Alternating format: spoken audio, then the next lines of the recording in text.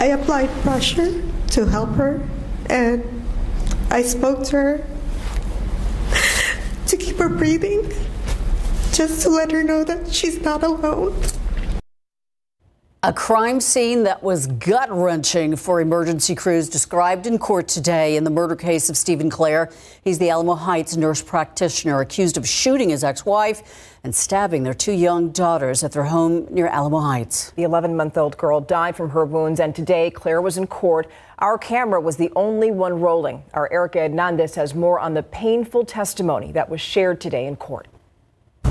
Today's hearing a very difficult one for those testifying today. We are hearing for the first time details from the first responding officers to what they say was a horrific scene. I do want to warn you that some of the details in this case are graphic. I, I really thought she was going to die in my arms.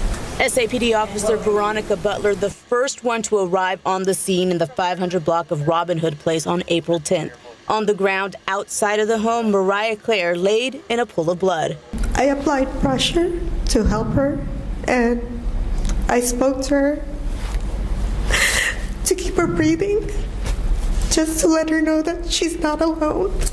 As other officers arrived, Officer Butler directed them to go inside the home to check on the kids.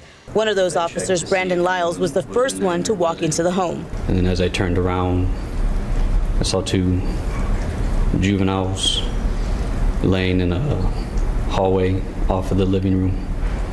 They're both covered in blood.